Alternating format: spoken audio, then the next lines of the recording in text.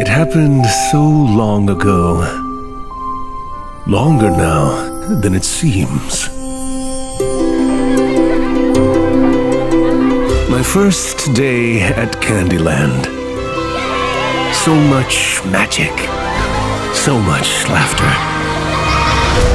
Until one day, it all changed.